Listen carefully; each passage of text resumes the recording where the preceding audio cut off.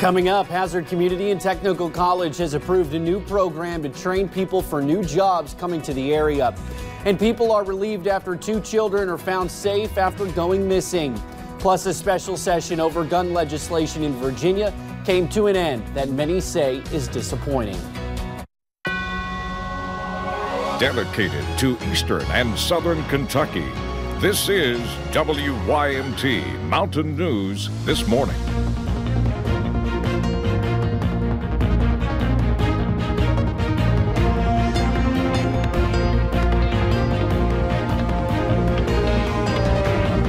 Good morning. It is 532 on Wednesday, July the 10th. I'm Will Puckett. Thank you for tuning in to Mountain News this morning. It's a little bit foggy, not as much as we saw yesterday, but it's hot. It's going to be even hotter today. So get ready for that. Let's bring Brandon in this morning. And Brandon, the key to making it through today is lots of water, Gatorade, Powerade, mm -hmm. body armor, whatever you get into that system that keeps you sweating and keeps you cool. Exactly, because I tell you, it's just going to be one of those situations where it's going to be very hot as we head into the afternoon hours. But this morning, a little bit of fog across parts of the region. Let's take a look there at the satellite, or excuse me, let's take a look at the cameras first this morning. I'm getting ahead of myself there. UVA wise, pretty quiet overnight. Not a whole lot of action going on, but again, some parts of the area still pretty foggy. Dense fog up toward Ashland there, four miles, and then nine at Morehead, eight over toward Williamsburg, five in Harlan. So again, not as bad as it has been, but some spots still seeing it. 69 Harlan, 68 Somerset and Monticello, 70s everywhere else as we head through the first part of your day. Temperatures across the region close to eight, almost 80 there in parts of Owensboro and out toward Paducah, 77 there in Louisville. So some warm days uh, or warm morning ahead for some of the folks out to our west. Day planner, we're going to see maybe a few clouds and some scattered chances for some storms in the heat of the day this afternoon as we get close to 90 for a daytime high. I'll have the rest of that forecast coming up here in just a few minutes. Will? All righty, Brandon, thank you. Well, she put up a good fight against the Republican incumbent for Kentucky's 6th congressional district in November. Now she announced she will run for office again, this time in hopes of unseating Senate Majority Leader Mitch McConnell. We are talking about Amy McGrath. She's a retired Marine Lieutenant Colonel. Hillary Thornton has more on the announcement that is making national headlines. Amy McGrath first talking about her candidacy on MSNBC this morning, explaining why she thinks this is the year Kentucky voters will choose someone other than the longtime senator. The things that Kentuckians voted for Trump for are not being done. He's not able to get it done because of Senator McConnell. The McGrath campaign also releasing a video this morning putting direct blame on the problems she sees in the country on Leader McConnell. Less than an hour after her announcement Team Mitch responding. And I think the wall is stupid. Putting out what essentially is a highlight reel of the attacks used against her in her attempt to unseat Congressman Andy Barr last year. A flurry of activity today that our political editor says will likely continue. Well, the race came roaring to life today, no doubt about that. And what you'll see now is that the campaign is already in gear. And it will be interesting to see just how aggressive it will be over the months to come and how often Kentucky will be uh, in the headlines given the high profile of this race. In Lexington, Hillary Thornton, WKYT. Now, Senator McConnell has defended has fended off six Democratic opponents during the past three decades, including now Secretary of State Allison Lundergan Grimes in 2014. Well, a special session to combat gun violence in Virginia ended without any results, leading some lawmakers to question Governor Ralph Northam's intentions. The special session ended with the move to take no action until the State House and Senate come back into session in mid-November.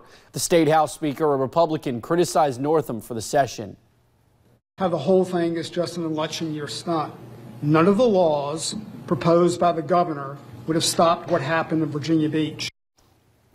The special session comes less than six weeks after a gunman opened fire at a Virginia Beach municipal building, killing 12 people.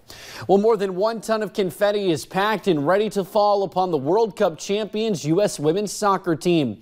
Fans of all ages will line the Canyon of Heroes in downtown Manhattan today for a ticker tape parade. Workers had to move fast to build the gold trim floats for the athletes to ride. Team USA defeated the Netherlands 2-0 on Sunday in France and are now home and celebrating in America. We feel like we've been in kind of a little bit of a bubble over in France, so now we get to feel just the magnitude of the impact that we've had here. With the last time the women's won the women won the World Cup in 2015, it was the first time New York ever held a ticker tape parade for a women's team. This time around, some of the players have used their success to fight for equal pay in the workplace and on the field. Well, Senator Joe Manchin of West Virginia introduced a bill Tuesday that he is hoping will do just that. It hinges on the fact that the U.S. is set to co-host the Men's World Cup in 2026. Senator Manchin wants to cut off any federal funding for that unless the U.S. Soccer Federation agrees to pay the women's team as much as they pay the men's team. And he's not the only one speaking out. 28 members of the team filed a lawsuit accusing U.S. Soccer of institutionalized gender discrimination. Well, billionaire tycoon and two-time former presidential candidate Ross Perot has died. Perot is best known for running one of the most successful third-party presidential campaigns in 1992. He got nearly 19% of the vote as an independent, running on a campaign against NAFTA, which both Bill Clinton and George H.W. Bush supported. Perot ran for president again in 1996 under his newly created Reform Party, but only got 8% of the vote that time. Ross Perot was 89 years old. Well, since the announcement of Dash Score coming to Perry County, Hazard Community and Technical College has, has approved a new program. It will train students for the more than 250 jobs that are expected to become available. The Manufacturing Engineering Technician Associate of Applied Science program will provide certificates in operations management, blueprint reading, advanced manufacturing technician, and more. While only 20 slots are available, officials say they are prepared to adjust as needed. The career opportunities are endless, and the entrepreneurship, whether they work for a large company, a small company, be self-employed, um, locally, or if they're willing to drive a little far, farther out, away from their home, it's endless opportunities. As classes began on August 19th, two new professors will be added to fill in expertise gaps. Dash DashCorps is expected to begin operations at the end of 2019. Well, the Federal Aviation Administration awarded a $1.85 million competitive grant to the London Corbin Airport to rehabilitate the runway on Magee Field. The grant will rehabilitate nearly 6,000 feet of runway pavement that has deteriorated. It is a murder case in southern Kentucky that has resulted in a lot of questions. That murder of a young woman and her four-year-old half-brother happened 25 years ago in Pulaski County. And the victim's family is still seeking justice. WYMT's Phil Pendleton spoke to those who believe the case can be still solved. This Somerset street corner has not changed much in 25 years, just like the unease Clayton Gibson feels about the unsolved murder of his sister and her half brother. You know, and they was murdered like like you would. They was killed like a stray dog you would out here on the side of the street, and thought no more of. Last seen leaving Convenient on July 3rd, 1994, only to be discovered four days later, two miles away in a fence row.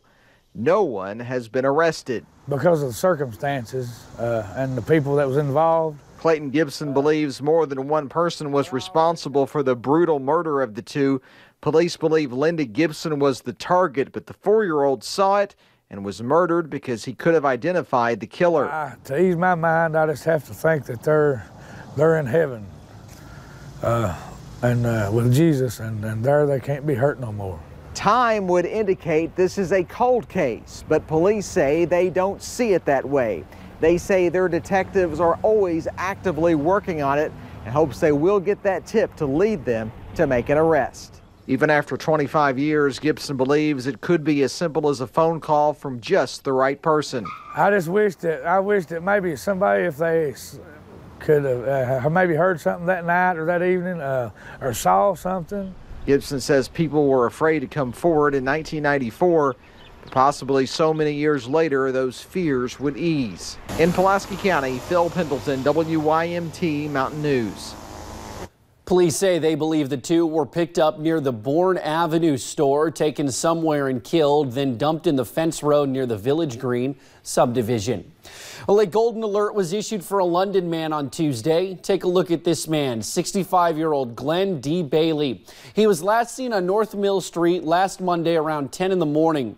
Deputies with the Laurel County Sheriff's Office say Bailey has onset dementia and liver disease. He requires daily medication, which he does not have access to. Bailey is described as, as 5 foot 10 inches tall, 180 pounds, with gray hair and a mustache. He was last seen wearing a blue shirt, blue hat, blue gray shorts, and blue tennis shoes. Police say he might be in a red Pontiac Grand Am. If you see Bailey, please call 911. Well, police, people rather, are relieved in Johnson County after two missing kids were found safe. Around 1.30 yesterday afternoon, police received a call that a 17-year-old boy with special needs and his young three-year-old cousin had taken off on an ATV across the Lawrence County line. Thankfully, both children were found safe near the Sandy Hook area. It's my understanding they was almost to Sandy Hook on the uh, four-wheeler. And the Lawrence County Sheriff's Department was the ones that actually found them and got them stopped. Both kids have been reunited with their loved ones, and family members say they are just thankful they are safe. The Appalachian Wireless Arena is working to bring more entertainment to the region. We'll have more details in just a few. And a cold front, yeah, I know that sounds ironic. This time of the year will ramp up those chances for rain in the next 48 hours, but the break from the action will not last long. I'll have the latest forecast in about three minutes.